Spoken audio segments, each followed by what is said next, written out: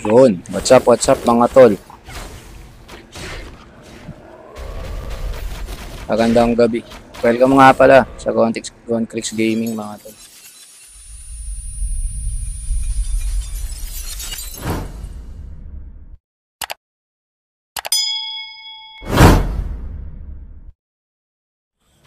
Ah. Magbibigay lang tayo ng konting tips dun sa kasi may nag-comment dun sa isa nating video. Ah, kung saan daw kung paano ko daw nagawa ng mabilis yung iba ko mga epic no mga epic item. So ah, ito ginagawa ko na yung isa dun sa ano paraan. So isa sa mga paraan diyan mga tol is mag-daily kayo. Okay, yung repeatable.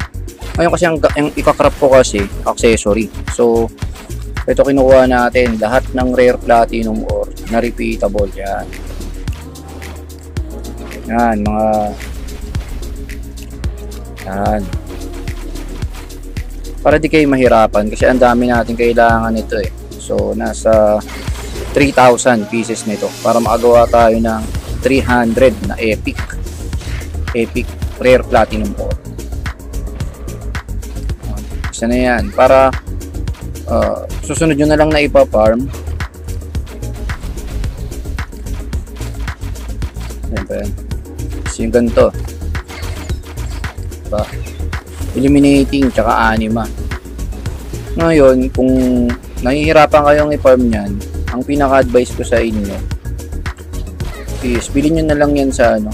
Ako kasi, syempre medyo matagal. Kaya nito, nasa 5,000 pa lang. Ang kailangan kasi natin dito na uncommon is 10,000 pieces para makabuo ng 1,000 pieces nito. Okay? So pag nabuo natin yung 1,000 pieces nito, sa epic ikakrap natin, magiging 100 pieces lang yan. So sakto lang yun. So gaya nito, di ba? 5,000 lang. So makakabuo lang yan ng nasa around 500, ah, around 600 pieces nito.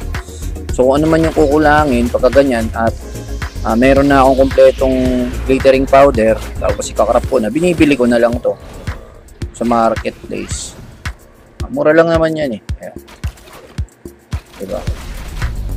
Pero minsan may mga mas mura pa dito naglalatag dito. Ito medyo mahal yan. 1 gold isa. Minsan may naglalatag dito 0.7, 0.6, 0.5 antayin-tayin nyo rin tsempohan nyo lang. As much as possible dapat may mga nakatabi na kayong gold. Okay? Ganun din dito sa isa Ah, ano ba yung isa niyang kailangan? Ito, ito, ito, ito. Anima, no? Ito, ito, ito. Yan, anima. Dito, sa anima naman. Yan. Sa anima stone, ganun din. Diba? Ganun din. Medyo matagal din kasi maipon yan. So, since main, uh, dito sa main account ko, uh, pumapalo lang ako dito sa mga bato kapag ka nauubos yung Vigor ko. So, kumbaga hindi hindi yung buong araw ko doon ko ginagamit. Okay, kasi mas priority ko pa rin yung leveling eh. So, ngayon, sa problema nyo naman sa golds, syempre may mga solution din yan. Ah, yung iba kinukuha natin sa art, yung iba kapag nakakuha tayo ng mga tradable na item, gaya na nakaraan, ah, nag-farm ako sa ano, SP1F tsaka SP2F ng mga boss. At saka yung sinasama na boss, 'di ba? May nagamitan ng mga stone, nagamit mga ganito, ah, crystal. Nakakuha nakakuha ako doon sa chest ng ano, ah, apat na ano, apat na tradable na book. So, yun, nabenta ko yata yun nasa ah, 250 gold, may 250, may 350, tapos yung isa ta parang pinakamahal na benta ko mga nasa 390 golds. Yun. So, kasi tabi nyo lang yun, yung gold nyo, kunin nyo lang. Diba? Tapos kasi sa ngayon, ang plano ko nang buuin, ito na. Diba? Pamalit natin dito bracelet to, unisolar bracelet. So yun, sobrang daming kulang ko dito. Ayan. Oh. Rare platinum ko. Wala pang isang libo. Kailangan ko niyan tatlong libo. Diba? Para yung dalawang mats, ito, illuminating at saka tong ano, anima, bibiling ko na lang. Diba? Kung sakasakaling hindi ko na ma-farm or di na ako makaantay, gusto ko nang i-crop. Pero syempre, eh, medyo matagal pa naman to. Ilang days ko pang repeatable quest gagawin to. bago ko makompleto yung 3,000. Diba? Pwede rin vice versa. Yun nga lang kasi ito, ito, ah, tsaka to, sa SP mo yan nakuha eh, sa drop ng mga mobs yan doon. Pero syempre, madalang, tambahan lang, kumbaga. Diba? Mas, mas ano yan, kapag pinalo mo sa bato talaga, sinadya mo talagang minahin. Diba? Pero usually, makuha mo lang doon mga uncommon. Tsaka, parang hindi kasi worth it yun sa time mo eh. Diba? Sa oras mo. Kung magimina ka lang na magimina doon buong araw, diba? Nasasayang din yung oras. So yun, yung isa lang yun sa mga tip ko, sa mga ginagawa ko. Tapos yung about naman dun sa gold, marami namang way yan eh. At gagawa rin tayo ng isa pang video about doon. Kung paano natin, paano tayo nagkakaroon ng gold ng mas mabilis na paraan. Diba? Nga yung sabi nga nila, yun nga, isa ghost trading na. Pagpapasa ng gold. So marami nagsasabi na bawal nga daw yun. Pero sa tingin ko kasi kung tatanggalin din nila yun sa system, maraming mawawalang player. Tsaka karamihan din naman sa mga YouTuber, ginagawa rin naman nila yun kaya sobrang bilis ng progress nila. Hindi lang natin kung paano yung pasahan nila o gaano kadami yung pinapasan nila. Pero so far, wala pa naman ako nabalitaan na naban talaga totally about doon. O report na nabasa. Kasi parang hindi naman yun ano eh. Hindi ka naman gumagamit ng ah, system doon o ng bot system. Diba?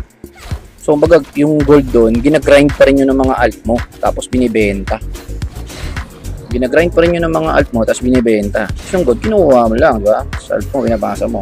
So, sabi, pinaghihirapan mo pa rin yun. Diba? Ginagamitan mo pa rin ng oras, diba? Kuryente. Kaya, tingin ko hindi rin naman nila yung basa-basa tatanggalin. Yun, tapos yun, konting update lang. Nakapag one tap na naman tayo ng ano, skill na epic. Hindi ko nga akalain eh, na magawa ang tape ito. Burst shed. Yung isang araw lang. Apat na pirasong rare. Winantap ko dun pa rin sa favorite place ko sa town. Sa ano ba to? Arcadia yata yan. Ano pangalan ba ng town na yun? Spiritual pala, sorry. Dito, Spiritual Center.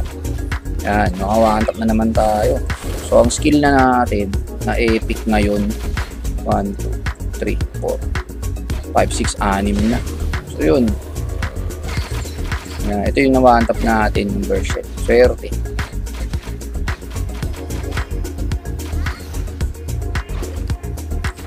So, yun, no. Uh, yun, yun, yun lang mga ginagawa ko dito. Para, pag, ano, kasi ano yan eh, parang pipili ka rin eh, progress or, di ba, o equipment. Pero syempre, pwede mo naman pagsabihin yan, hatiin mo lang. Diba, progress ka, kung prog prog nga, progress ka muna sa level up, kung uh, sa pag-enhance ng ano mo, uh, constitution, inner force, progress ka doon. Ano ka doon, focus ka doon. Diba? Pero yung nyari, uh, gusto mo mag-ano muna sa sa equipment mo, pwede ka rin mag-focus din sa equipment mo. Ah, sa'yo rin yun, diskarte mo. Nasa diskarte mo rin yan. Pero kung ako, ako, ta- ako tatanungin nyo, syempre, mas mas maganda kung progress nyo muna talaga level up. Diba? Kasi pag high level kayo, yung mga item, mga equipment, madali na yan sa inyo eh. Gaya tong mga ano, kakapacherten ko lang, di ba? Naubos lahat ng item ko dito. Ngayon, dami na naman, oh. Meron na naman ako almost uh, mahigit 300 na purified water. Oh, tapos almost 11,000 na Blue Devil Stone na uncommon. AFK spot lang yan, nag-grind lang siya.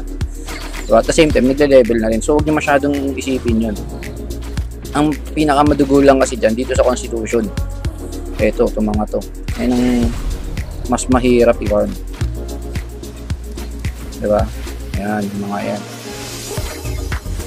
So yun, kasi ako medyo competitive gamer talaga ako. Kaya most of the time, lahat talaga, pinopokus ko. Parang ang, ang target ko everyday, nakapagdagdag ako ng PS, kahit mga 200 PS lang, 100.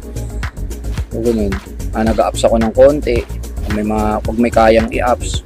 Basta everyday, ganun yung tinatarget ko. So yan mga tol. Tapos nga pala, ah, keep on ano lang din, ah, keep on watching lang sa mga ano natin, sa mga video natin. Siguro by next month mag-aano na ako, uh, magla-live stream na ako sa YouTube. Sana may manood, no. Pero 'yun. uh, try ko rin mag live stream doon. Kasi marami rin kasing nanonood sa atin kaso ah, hin- hindi lahat sila eh. Parang wala pa yatang 10% yung ano eh. Nag-subscribe. Yun, subscribe din kayo. Tapos, pag may time kayo, share nyo. Diba? Yun. Comment, pinaka-importante doon mga tol. Yung comment nyo. Comment kayo kung ah, may sabi ba ako mali or may idadagdag ba kayong impormasyon. Yung mga ganun. Para uh, makatulong din sa akin. Tulungan lang tayo. Yun. Yun. So, update din dito. Ah, level up lang natin. Kanina, gising natin. Ah, 91 lang natin. So far, 4% pa lang tayo. Kasi nagde-daily pa ako, kaya hindi tayo nagbabayad core. Kaya sayang, naubos na eh. oh. Pag ginagawa lang natin to, ginagamit na lang natin yan kapag kapalevel tayo sa mga AFP spot. Sa MS at saka sa SP. So yun lang. Enjoy watching palagi mga tol. Tsaka, yun, huwag nyo nakalimutan mag-comment kapag ka, ano, may gusto kayong itanong. Okay, o kaya may gusto kayong video ipagawa. Maraming maraming salamat na ako.